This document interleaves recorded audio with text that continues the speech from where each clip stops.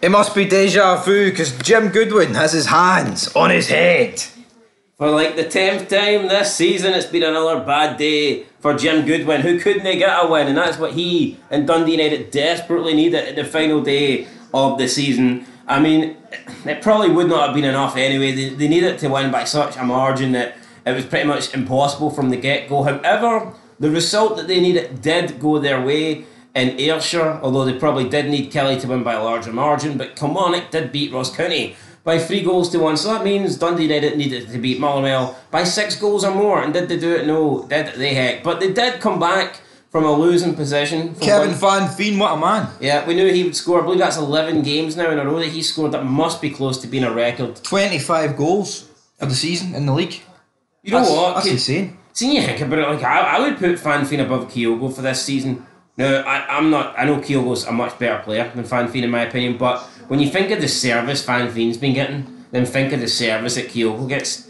You would have to imagine if you put van Veen in the Celtic team, It had he would have, he'd have 40 goals. he'd have more than 25 goals. And like, let's let's switch it around. If you put Kyogo in the Motherwell team, does he have 26 goals? 27. 27? Don't think so. I mean, I doubt it. So, but then again, you, you can't really. You know, it's hard to tell. with- um, They're different teams, so whatever. We don't know about that, but we do know is Dundee United came back, got into a winning position. McGrath with a penalty, Fletcher with a goal. I thought Fletcher was out for the season.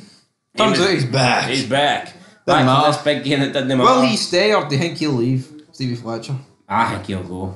Do you think he'll go to like another Scottish Premiership team? Possibly. Could he return to Hibs? Could he be the Nisbet replacement? Could he be? Maybe. I mean, I, I, if I was a Hibs fan, I wouldn't really want fucking what thirty six year old Stephen Fletcher to be the.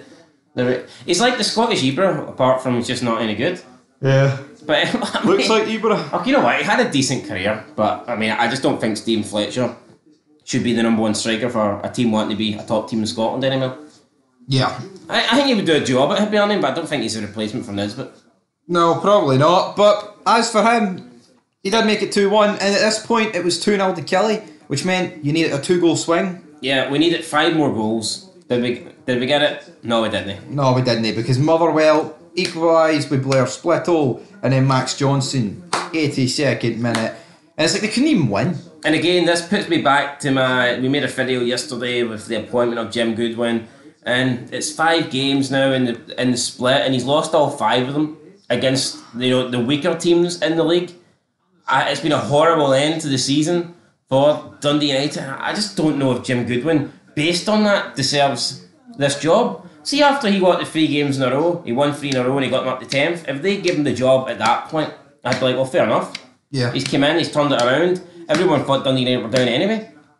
So I think he did. But the fact that he's got them into a safe position and then lost five in a row against the five weakest teams in the league, to me, that's I, I don't know. I don't think that's job managerial uh, job worthy. But whatever, they've appointed him. What a great end to the season for Motherwell. Since Stephen Robinson came in, the only team in Scotland to score more points than Motherwell are Rangers. So I mean, I think that's an incredible statistic there for Stephen Robinson. Uh, not Stephen Robinson, Stuart Stuart Kettlewell.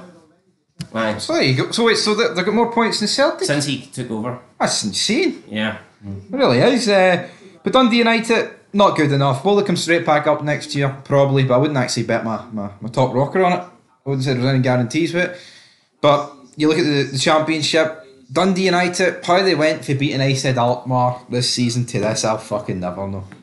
I'll tell you what. And there was a few seven and nine nils in there, like Well, I know, but after that win against AZ Alkmaar, no one would have thought relegation. No, one was thinking relegation anyway. Let's be honest. people were thinking here they, they could get to the group stage. Yeah, and it's all went horribly fucking wrong.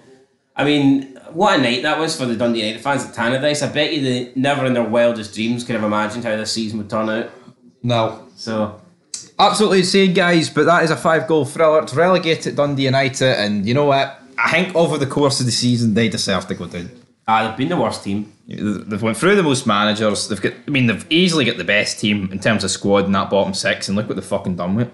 Yeah, no, I mean, come on. Uh, there's been bad. There's, there's teams that have had bad spells. Like, Yo, I said Alkmaar um, made it to the semi final of the fucking Conference League, and they beat them. And they got they got a draw against West Ham as well, didn't they? Exactly. So what the? I don't know what the hell's going on here. But anyway, guys, a lot of players are going to leave. But check out the SPFL review Yeah, show. the worst teams went down, so it's all the fair. final SPFL review show of this of the season. It's been a journey. It's been an absolute ride. But until then, peace.